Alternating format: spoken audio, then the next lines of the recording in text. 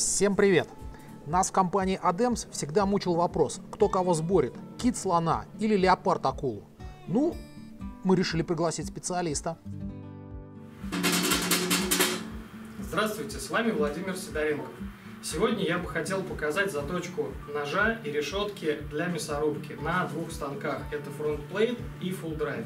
Досмотрев это видео, вы поймете выгоду заточки на станке фронтплейт. Для начала подготовим обе планшайбы. В качестве шлифовального материала мы используем порошок оксида алюминия зернистостью F240. Порошок мы наносим на планшайбы, предварительно смоченные эмульсией. Распределяем его равномерно и втираем в канавки. Объектом нашего сегодняшнего соревнования будет выступать вещь, хорошо известная всем домохозяйкам. Это решетка от мясорубки. Для правдоподобности и для достоверности сегодняшнего эксперимента мы заточим каждую из сторон на разных станках. Посмотрим, какой из них справится с задачей быстрее, чем его коллега. Первый участник нашего сегодняшнего соревнования – станок Adams Frontplate.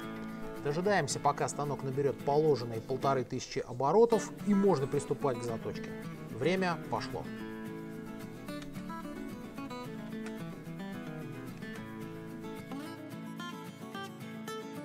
В процессе заточки Владимир контролирует качество выполняемой работы. Заточенная решетка не должна иметь непрошлифованных участков, которые выделяются темным цветом.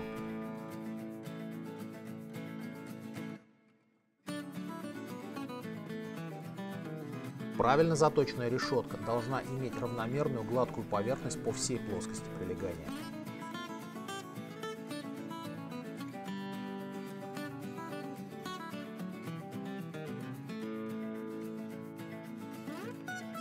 Постепенно наша решетка приобретает все более однородную и гладкую поверхность, а это значит процесс близится к завершению.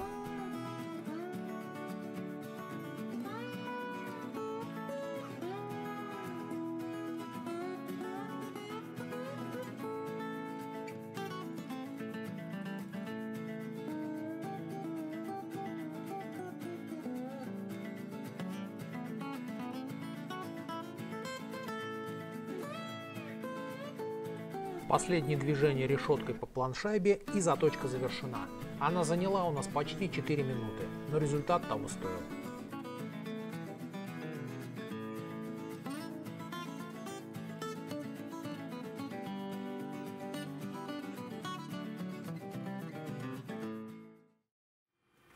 Мы закончили заточку на фронтплейте, теперь приступим к заточке на full драйве. Ну что же, давайте посмотрим, как с этой работой справится наш второй участник – станок Adams Full Drive. Уже в начале работы заметны основные отличия. Движения по планшайбе менее амплитудные, а это означает, что порошок расходуется намного быстрее, ведь задействуется практически вся планшайба, а она меньше диаметром.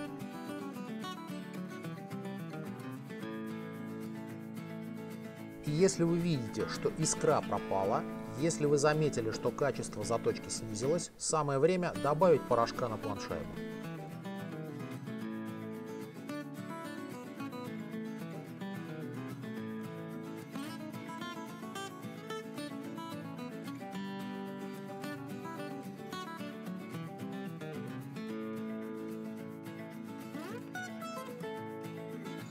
Несмотря на то, что условия заточки идентичны, используется одна и та же решетка, используется один и тот же шлифовальный материал, сам процесс идет немного медленнее, это видно.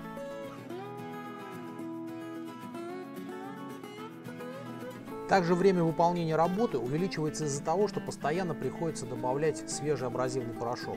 А что делать? Расход выше.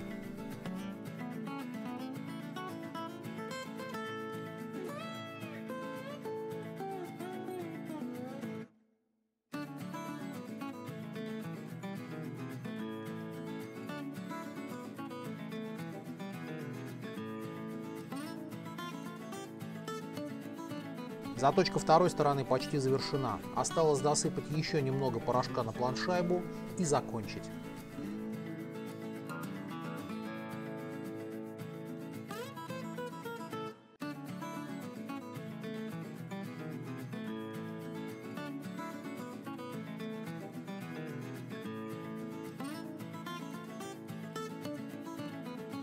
И вот они, финальные штрихи. последние движения по планшайбе проверка, заточка завершена. Вторая сторона заточена идеально. А теперь давайте посмотрим на результаты, на те цифры, которые были получены нами в ходе сегодняшнего эксперимента. Расход абразивного материала составил 10 грамм для станка ADEMS Front Plate и 20 грамм для станка ADEMS Full Drive. Если мы обратимся к статистике, предоставленной нам студией заточки, то мы увидим, что в месяц можно заточить 42 ножевые пары. В год получится 22 680 рублей для станка Front Plate и 45 360 рублей для станка Full Drive.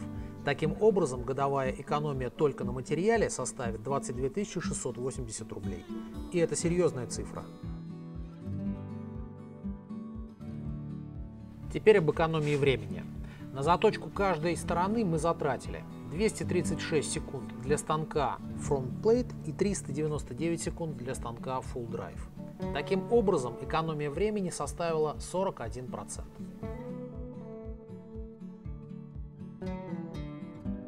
Ну и какие выводы можно сделать из нашего сегодняшнего эксперимента?